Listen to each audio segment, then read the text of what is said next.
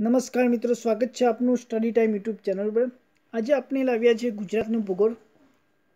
મિત્રો પીડીએફ મેળવવા માટે ડિસ્ક્રિપ્શનના ટેલિગ્રામ ચેનલ સાથે જોડાઈ શકો છો. અને મિત્રો, આવા જ વીડિયો મેળવવા માટે અમારી ચેનલને સબસ્ક્રાઈબ કરો. Number one Gujarat Maritime Board અને ગુજરાત કેમિકલ પોર્ટ ટર્મિનલ લિમિટેડના સંયુક્ત સાહસ દ્વારા કયા કેમિકલ પોર્ટ ટર્મિનલને વિકસાવવામાં આવી છે? તો સાચો જવાબ રહેશે મિત્રો, દહેજ. નંબર બે વસ્તી ગણતરી બે હજાર અગિયાર મુજબ ગુજરાત રાજ્યના વસ્તીની ગીચતા પ્રતિ ચોરસ કિમી કેટલી છે? વસ્તી ગણતરી બે હજાર અગિયાર મુજબ ગુજરાત રાજ્યના વસ્તીની ગીચતા પ્રતિ ચોરસ કિમી કેટલી છે? ત્રણસો ને આઠ. સાચો જવાબ રહેશે મિત્રો. નંબર ત્રણ.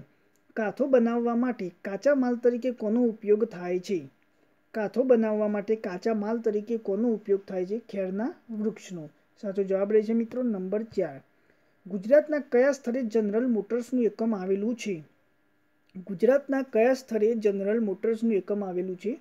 હાલોલ ખાતે. સાચો જવાબ રહેશે મિત્રો, નંબર પાંચ. ઇફકોના ખાતરના કારખાના ગુજરાતમાં કયા સ્થળે આવેલા છે? ઇફકોના ખાતરના કારખાના ગુજરાતમાં કયા સ્થળે આવેલા છે? કલોલ અને કંડલા ખાતે. સાચો જવાબ રહેશે મિત્રો, નંબર છ. ગુજરાતનું સૌપ્રથમ ગોકુળ ગ્રામ ખાલી જગ્યા છે. ગુજરાતનું સૌપ્રથમ ગોકુળ ગ્રામ ખાલી જગ્યા છે રાયસણ. સાચો જવાબ રહેશે મિત્રો નંબર સાત. આરસ પહાડના પથ્થરના કયા વિસ્તારમાંથી મળે છે? આરસ પહાડના પથ્થર ગુજરાતના કયા વિસ્તારમાંથી મળે છે? તો મિત્રો સાચો જવાબ રહેશે બનાસકાંઠા. નંબર આઠ. ગુજરાતમાં મેંગ્રુવ જંગલો મુખ્યત્વે ક્યાં છે?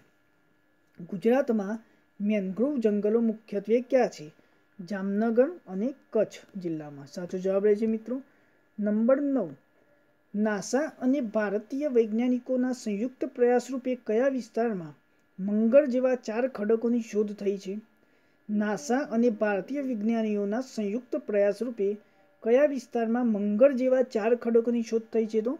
માતાના મઢ ખાતે. સાચો જવાબ રહેશે મિત્રો. નંબર દસ. સુરેન્દ્રનગર જિલ્લાનું ખારાગોડા શેના ઉત્પાદન માટે યોગ્ય સ્થળ મનાય છે?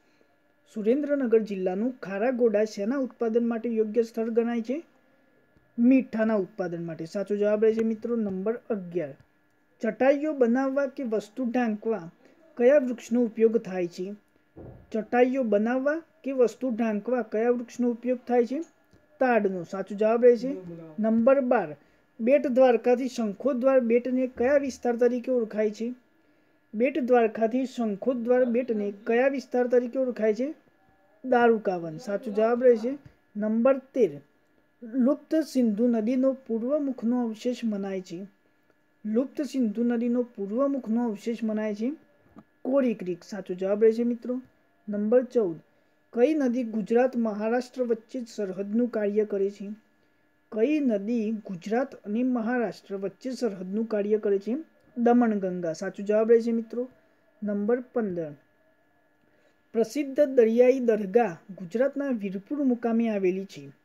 પ્રસિદ્ધ દરિયાઈ દરગાહ ગુજરાતના વીરપુર મુકામે આવેલી છે. આ સ્થળ ગુજરાતના કયા જિલ્લામાં આવેલું છે? મહીસાગર જિલ્લામાં. સાચો જવાબ રહેશે મિત્રો? નંબર સોળ. બાયો વિલેજ ગામ કયું છે?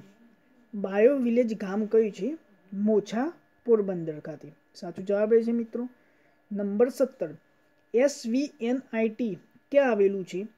એસ વી એન આઈટી ક્યાં આવેલું છે? સુરત ખાતે. સાચો જવાબ રહેશે મિત્રો. નંબર અઢાર. હિલસા નામક ખારા પાણીની માછલી ઈંડા મૂકવા કઈ નદીમાં આવે છે?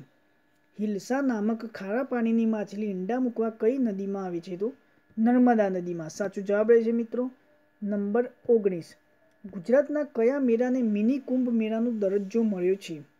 ગુજરાતના કયા મેળાને મિની કુંભ મેળાનો દરજ્જો મળે છે તો? ભવનાથનો મેળો. સાચો જવાબ રહેશે મિત્રો. નંબર વીસ. કયા જિલ્લાના વિસ્તારને દ્રોણમુખ કહેવાય છે? કયા જિલ્લાના વિસ્તારને દ્રોણમુખ કહેવાય છે તો? ભાવનગર જિલ્લાની. સાચો જવાબ રહેશે મિત્રો. મિત્રો, સ્ટડી ટાઈમ યુટ્યુબ ચેનલનો આજનો પ્રશ્ન છે, નાગરિકતા સુધારા બિલમાં લોકસભામાં કેટલા મત પડ્યા? એ, ત્રણસો ત્રણ. બી, ત્રણસો નવ. સી ત્રણસો આઠ, ડી ત્રણસો અગિયાર. મિત્રો, હવે બીજો પ્રશ્ન. પરેશ સોલ્વ ધીસ ખાલી જગ્યા. The question in no time.